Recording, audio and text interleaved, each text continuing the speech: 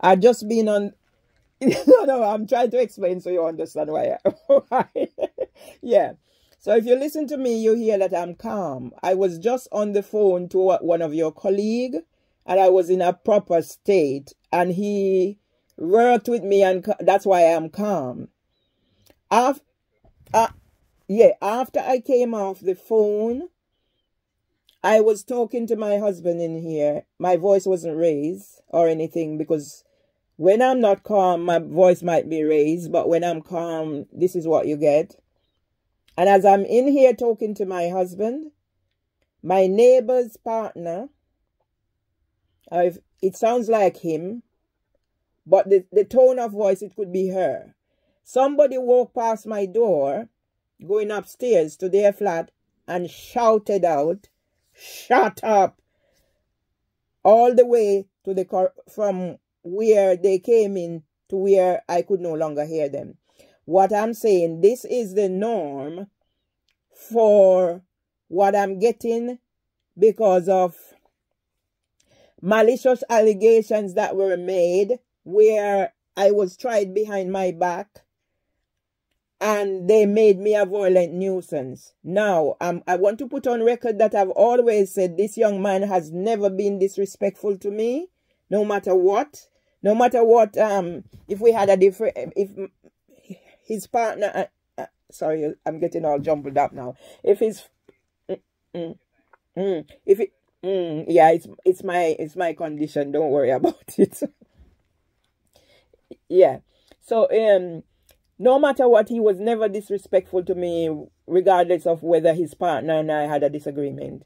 It only just started recently. Yeah. I came in I came in the other day from shopping and because they removed the mats, I have a, a husband who is a hundred year old. And the situation, the trolley was so messy and I'm saying I stood there recording because I have to keep record. And I'm saying like um, you know, they removed the, the mats, so everything that comes from outside goes into into the place. So whilst I'm standing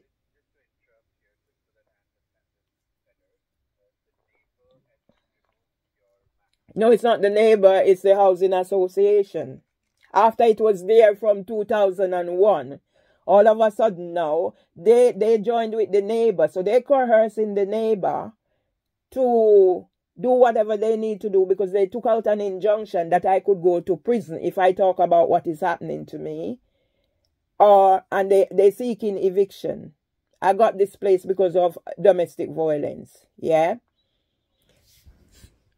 Uh, don't worry about it. So what I'm saying, if something is not done, because I reported the matter to the police, and they're not they're not taking it seriously to the the, the fact that I'm, I'm, I'm I have to tell you everything. Last Christmas Eve, I had to barricade myself in here because of, of my neighbor, the female. Yeah. And since of late, I, I, she's coming down the stairs in a threatening manner. They said because she didn't do me anything, it's not a criminal offense. But last week, Sunday, the, the male one now stood at my door and shouted at me. They said it's a that's a criminal offense. They sent somebody here to take it, um do interview. I haven't heard back anything from them. Now it started again. It started again today.